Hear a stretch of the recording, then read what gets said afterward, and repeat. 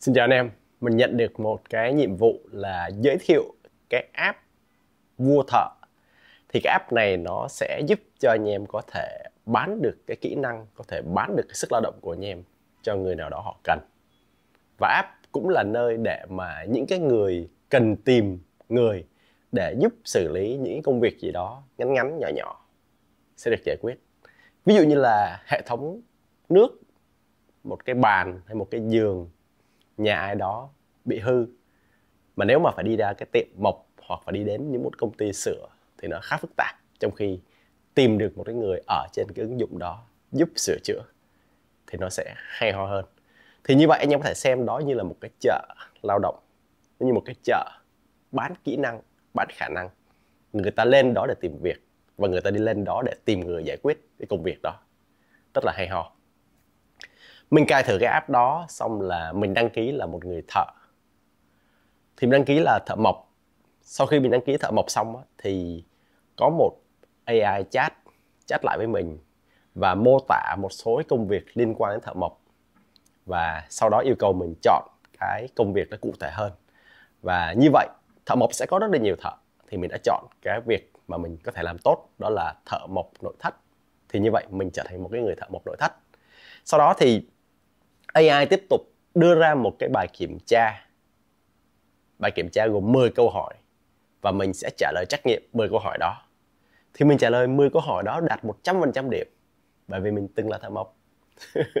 mình có kỹ năng sửa nhà, sửa ống nước. Nói chung là mấy cái việc lặt vặt trong nhà mình làm được. Thì như vậy mình đã đăng ký cái việc đó ở trên cái app vua thợ đó. App tên nghe hơi quái.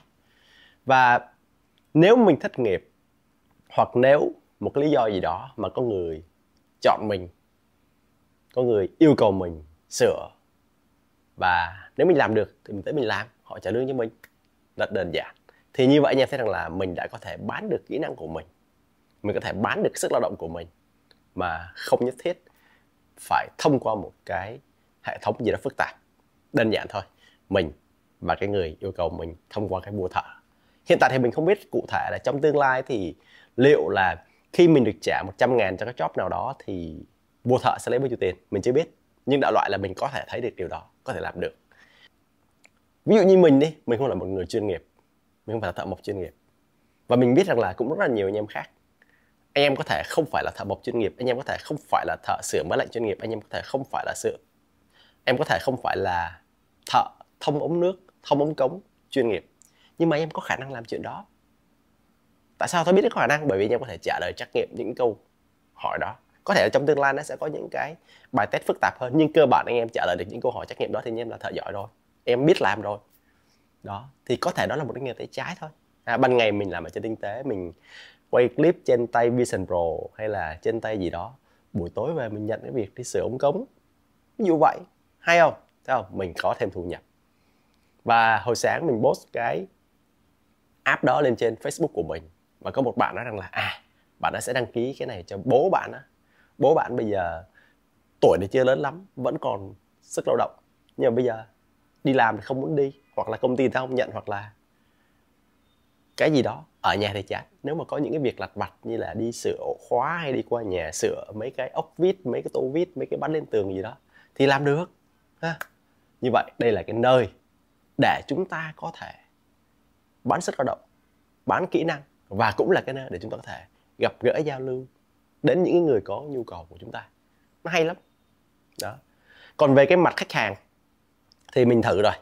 Mình bấm vào phần khách hàng và mình xem. Thì mình thấy rằng là khách hàng sẽ được liệt kê ra mấy chục cái danh mục khác nhau về kỹ năng mà người ta cần. Ha, thợ mộc thợ sửa máy lạnh thợ chụp hình thợ sơn nhà thợ sửa tivi thợ may quần áo tùm lum hết rồi sau đó người ta đi vào đó, người ta tìm cái người thợ nào đáp ứng được cái nhu cầu. Và bản thân cái người thợ cũng có thể đi tìm việc ha. Vô cái chỗ tìm việc post ra à tao muốn làm này. Cái người khác thấy thì đi tìm thấy tuy nhiên ở phần khách hàng thì mình thấy rằng là nó thiếu.